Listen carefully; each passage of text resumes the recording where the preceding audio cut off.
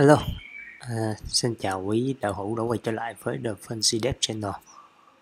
Ở video ngày hôm nay, mình sẽ tiếp tục uh, giới thiệu cho quý đạo hữu về một cái API, loại API mới trong ờ, uh, RPC. Đó chính là Client Streaming API. Thì cái Client Streaming API là gì? Thì nó là một cái dạng API mới ở của gRPC thì khi mà cái sử dụng cái lệnh streaming API này á thì client nó sẽ gửi nhiều cái request và nhận được uh, một response. À, này gõ sai. Buồn ngủ tôi gõ sai. Một response. Từ server ở một lúc nào đó bất kỳ lúc nào mà server nó thích đó, nó thích trả về respawn lúc nào đó, là nó respawn về lúc đó. Đó. Và chỉ một lần thôi nó chỉ respawn về một lần thôi. Còn thằng client thì nó cứ việc nó nó nó gửi nhiều request lên. Thì nó phù hợp cho cái việc là khi mà thằng client nó cần gửi một cái lượng lớn data lên server nghĩa là chia làm nhiều request để nó nó gửi lên server. Hoặc là khi mà cái việc xử lý cái request đó ở trên server á, nó rất là tốn kém. Nghĩa là xử lý gì đó phức tạp tốn nhiều thời gian tốn nhiều resource. Này chỉ nên xử lý khi nào mà thằng client nó yêu cầu phải xử lý thì mình xử lý thôi.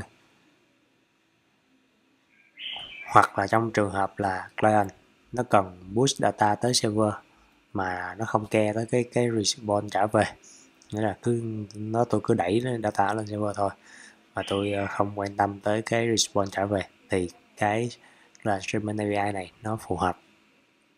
Thì trong cái ví dụ ngày hôm nay mình sẽ à, thử làm một cái bài tính trung bình cho một cái ờ, dãy số. Đó. thì nó cũng giống như những cái video trước mình đã làm thì mình cũng define một cái ờ, API ở trong cái con calculator này. Thì mình define rbc average oh, ờ, và cái này là uh, client streaming. Thì sẽ có chữ stream từ phía cloud client nó truyền lên mà. Thì stream cái uh, request và nó return. Thì nó chỉ return về một cái response thôi.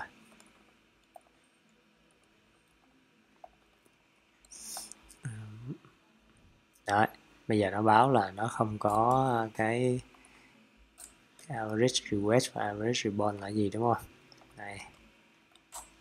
Thì bây giờ bây giờ mình muốn cho cái request mình lên là một cái con số. Mình trả về một cái con số. Uh, request thôi mình cho nó là float đi. À, float là num. Rồi.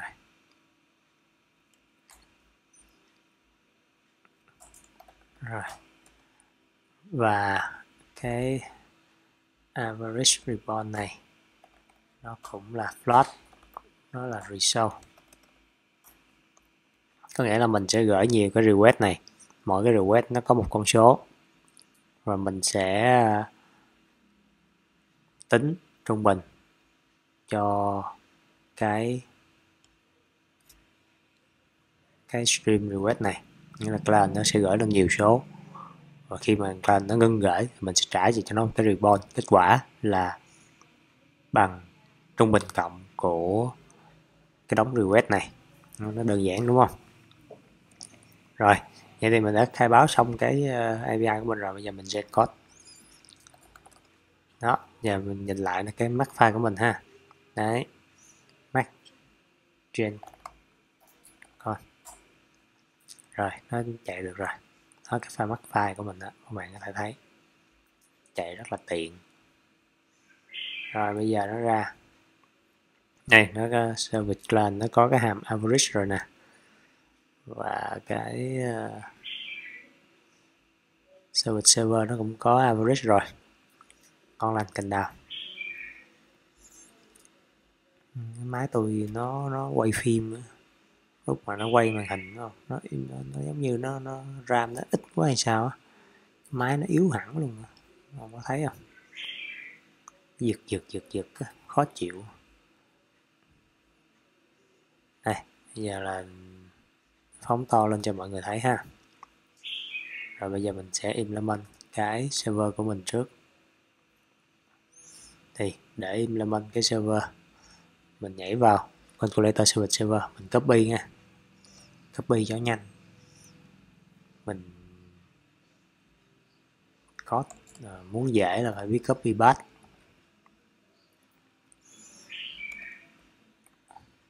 bởi vậy? Học lập trình nó dễ hơn. Sau khi mấy ông hiểu rồi thì gần như là mấy ông chỉ đi copy paste thôi và sau đó là lương mấy ông ngàn đô. Cuộc sống quá đơn giản. Này đặt tên nó là stream, và nó là từ cái creator.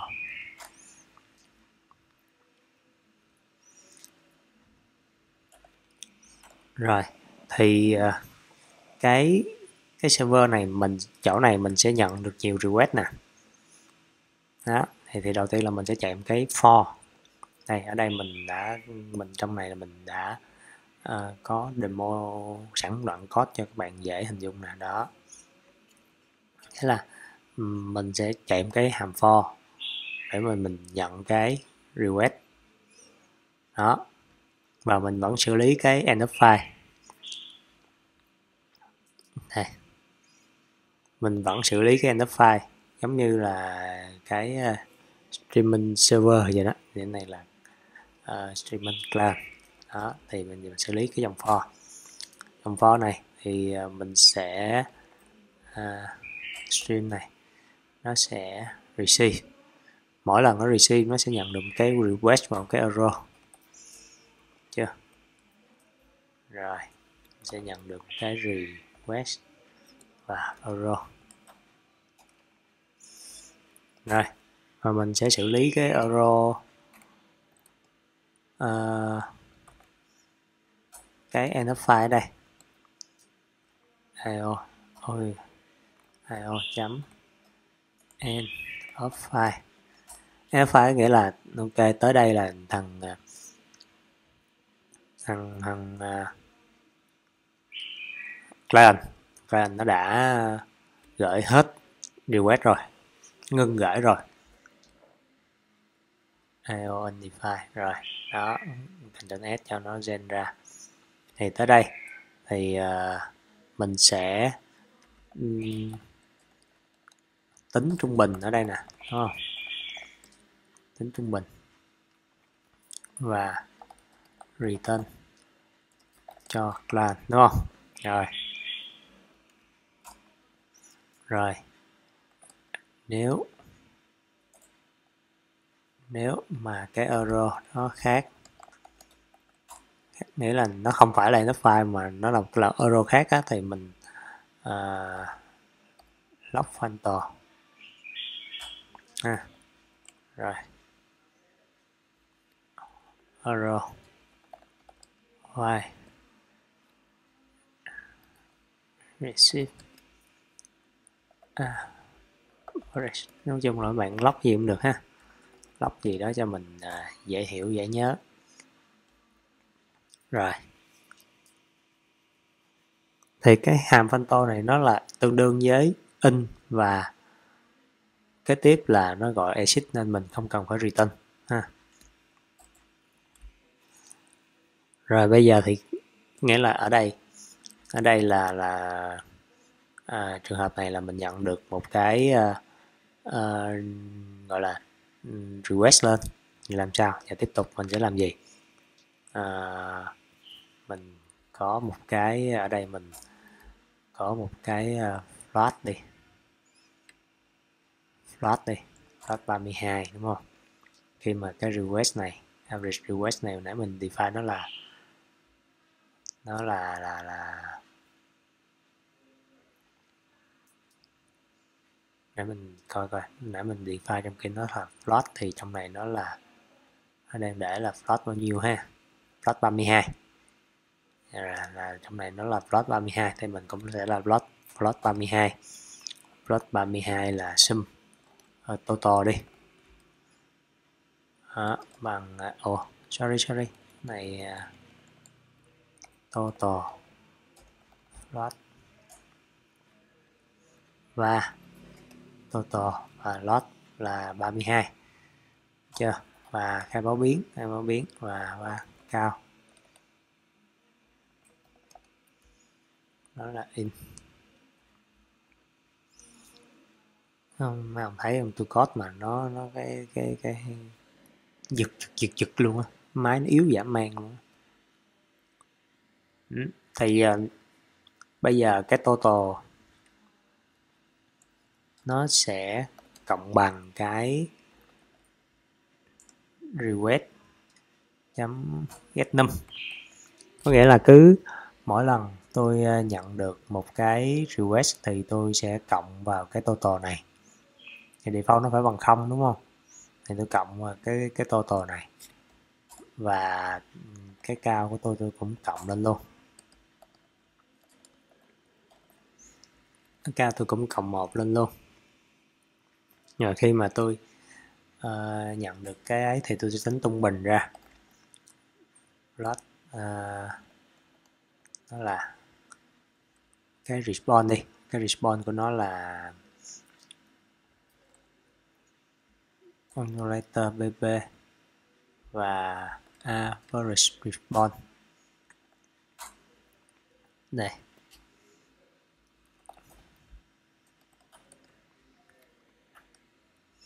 Cái average response này nó có một con số là result đúng không? Thì cái result của mình nó sẽ bằng là total chia cho count.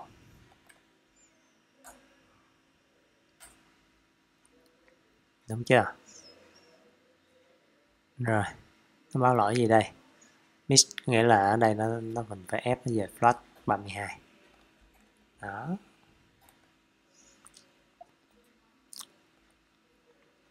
Rồi sau đó mình sẽ dùng cái stream này. Mình send and close. Nó sử dụng cái hàm send and close. Đó và mình đưa cái response vào đây. Đồng thời là return arrow nếu có. Đấy. Và bây giờ trước khi đó thì mình sẽ lock oh, bring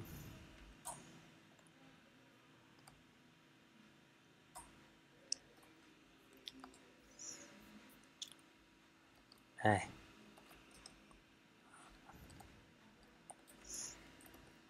Nghĩa là cái hàm average này nó được con. Nghĩa là mình lock ra khi mà được gọi được vô cái hàm này thì uh, mình in này ra và bắt đầu nó sẽ tính. Thì đây mình trước khi đấy thì mình sẽ lock tiếp nữa đây nè. À, uh, bring ra. Là mình uh, receive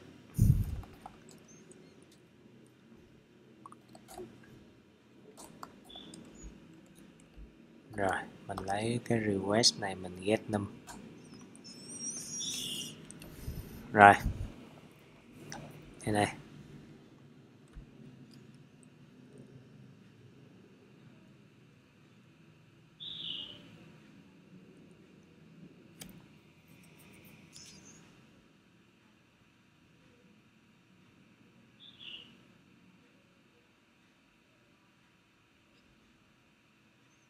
Thôi mình lóc hết cái request ra đi. Ha, mình lỡ phần trăm về đây rồi mình lóc luôn cả cái request ra.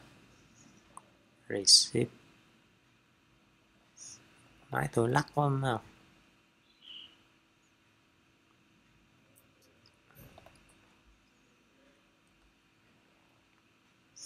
tôi yếu quá chịu không nổi giật giật giật giật. Thiệt. Không biết làm sao luôn. Rồi bây giờ tụi mình sẽ chạy cái uh, server thử coi nó chạy được không? Rồi, cái nó đang chạy rồi, ok. Rồi giờ mình tới cái client của mình. Rồi, tới là client của mình thì mình sẽ tạo một cái là con average rồi, cũng y trên này, ha cũng cần có một cái client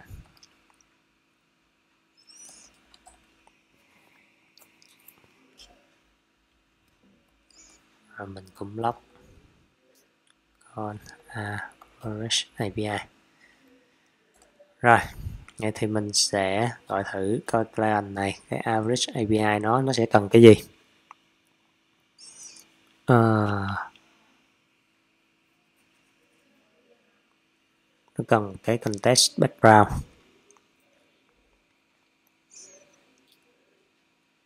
Và nó trả về một cái ờ, calculator service đây.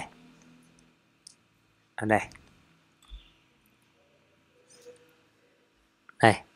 Thì nghĩa là đầu tiên khi mà nó gọi hàm average mà truyền context background á, nó sẽ trả về một cái stream cho mình. Cái stream. Thì khi mà mình cần gửi nhiều request á thì mình sẽ chạy cái hàm for và mình sẽ gửi gửi từng cái request một. Và khi mà mình gửi cái request xong á thì mình sẽ gọi hàm à, uh, close and receive. Có nghĩa là gọi cái hàm này để mà mình đóng cái cái connect lại và mình nhận được cái kết quả response từ cái server trả về. Đó. thì giờ trong này mình cũng sẽ làm như vậy ha con à, average truyền vào một cái ờ, context background. Thì mình sẽ nhận được uh, cái euro vào cái ờ, stream. Và euro. Rồi mà mình xử lý euro ở đây.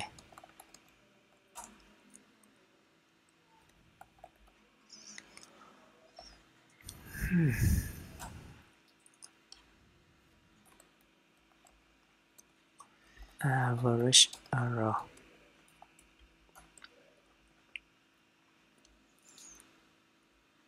Rồi thì bây giờ mình sẽ uh, cần một cái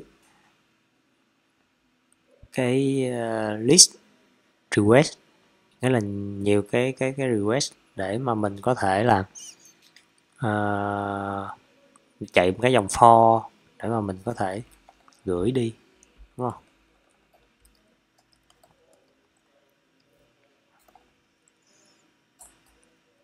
Rồi nó sẽ là bằng cái mảng uh, rich request này. Ha. Và ấn với ừ, mỗi cái này thì nó sẽ là một cái ờ,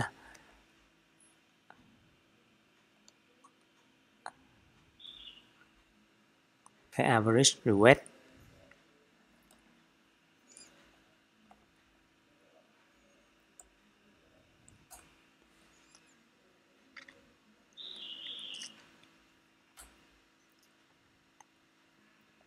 với cái à nó phải là với cái cái à, uh, num cái num của nó. Num của nó ở đây mình có thể cho là bao nhiêu cũng được ha 5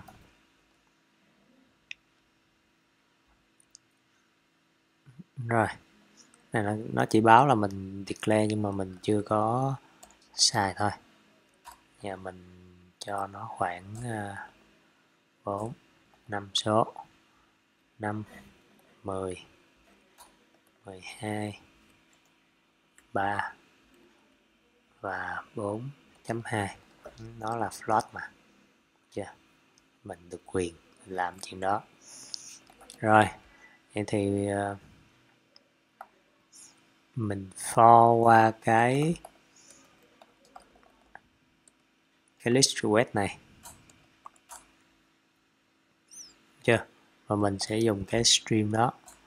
Mình send.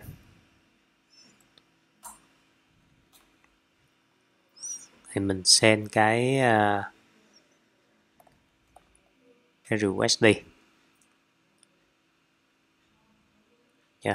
Và mình nhận được error.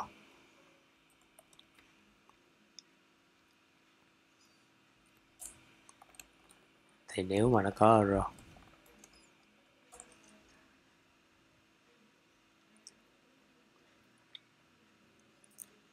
Thì mình lóc ra thôi.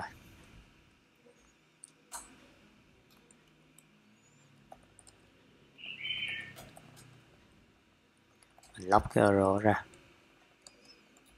Trong quá trình mình gửi đi á, mình xem mình biết ha.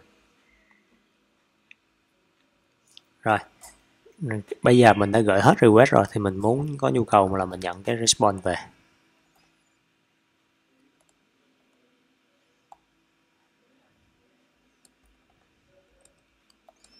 Là bằng stream.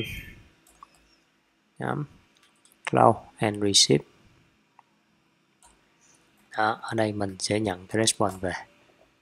Và nếu cái error nó khác nên. Đấy thì mình lại lóc cái error ra. Là à, receive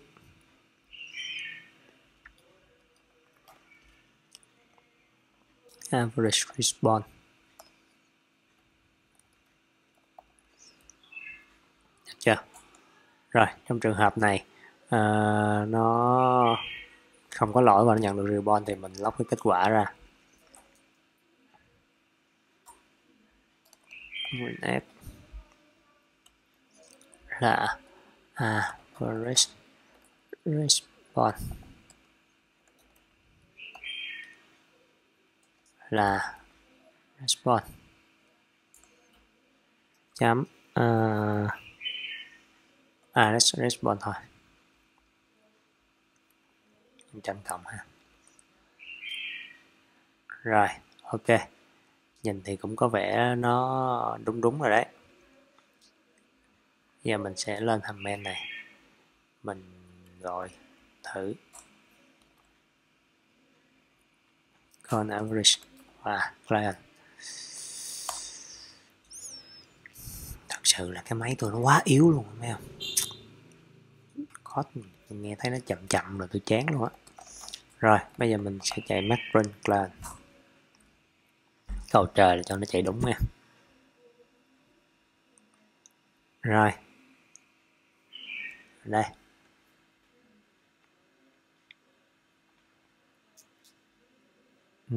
Nó nhận được một cái request năm là năm năm 10 năm hai năm ba năm đây. Và ở đây nó tính ra được là cái à, trung bình của nó là 6.14 bây giờ mấy ông không tin hả? À, mình test lại coi nó đúng không nha. Để tôi có nhiều thì tôi cũng không tin tôi lắm. Bây giờ là à, 5 cộng 10 à, cộng 12 cộng 3 cộng 4 chấm 2 rồi chia cho 1 2 3 4 5 5 rồi 684 chính xác luôn các chính xác luôn. Trên server tôi à, à, này đáng lẽ là phải rin ép đi tôi đi à, đó, tôi đi uh, lấy nó có xài. Rồi bây giờ mình nó chạy nhanh quá. Bây giờ thôi mình thử mình cho thằng clan của mình á mỗi khi nó gửi cho nó nó nghỉ mệt xíu. Rồi tem chấm sleep ha cho nó nghỉ mệt khoảng uh, uh, 500 millisecond. Đấy. Nghĩa là mỗi lần nó gửi cái request lên rồi nó dừng. Nó gửi cái request lên rồi nó dừng. Đó, để thử coi là à, nó còn chạy đúng hay không. Ha rồi bây giờ mình sẽ chạy lại server.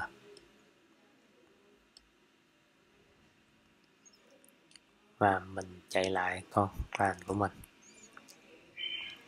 Thực ra đáng lẽ nãy không cần phải chạy con server luôn mấy không tại đâu có sửa code server gì đâu. Đó trong trường hợp này các bạn thấy không? Nó chạy từ từ từ từ từ từ nè. Nửa giây nửa giây nửa giây nửa giây rồi ra kết quả. Bây giờ mình thử mình cho nó nó chậm hơn nữa đi, là một giây đi. Nhìn nó nó mới có cảm xúc. À. lại đấy. Chờ nè, bắt đầu chuẩn bị vô nè. Đấy, nó bắt đầu nó chạy chạy con đầu tiên, con thứ hai, ba, tư, năm, đủ. Và tính ra kết quả chính xác. Đó. Như vậy là mình đã, coi như là mình đã implement được thành công cái ờ, KPI tính trung bình cái cái này gọi là client streaming API nghĩa là client nó sẽ gửi nhiều cái request lên. Đây đó, đây trong trường hợp này là nó gửi uh, cái request lên mình có thể bao nhiêu cái request cũng được ha. Và server nó sẽ trả về uh, request bất cứ lúc nào nó thích. Ở trong trường hợp này là mình sẽ chờ cho client nó gửi hết rồi mình mới respond về nhóm hòa. À. các bạn hoàn toàn có thể là ừ, ừ, trong cái trường hợp nào đó mình hoàn toàn có thể respond về uh, ngay đây cũng được ha không có bắt buộc là mình phải chờ cho client nó gửi hết. Đó, trong cái bài toán của mình thì mình tùy tùy cái bài toán mà mình sẽ return về bất cứ lúc nào cũng được. Đó. thì đây đây chính là cái cách mà mình khai báo. Thì cái từ khóa stream này á khi mà nó ở gọi là cái server streaming đó nghĩa là server nó trả về nhiều response đó, thì cái từ khóa stream nó sẽ nằm ở cái phía return. Còn khi mà uh, client, client streaming nó nghĩa là client nó gửi nhiều request lên đó thì cái từ khóa stream này nó sẽ nằm ở trong cái uh, cái cái vế trước nó nằm ở trong cái param ha. Rồi mình đã coi chừng là demo cho mọi người thấy cách để mà implement cả uh, server và client của cái live streaming API này. Hẹn gặp lại ờ, các bạn ở cái video kế tiếp. Mình sẽ ờ, demo luôn cho mọi người coi cái API ờ, cái loại API cuối cùng trong gRPC đó là bidirectional streaming. Nhớ cho mình một cái like comment subscribe. Nếu thấy hay thì có thể share cho bạn bè cùng học. À, cảm ơn các bạn hẹn gặp lại ở video kế tiếp.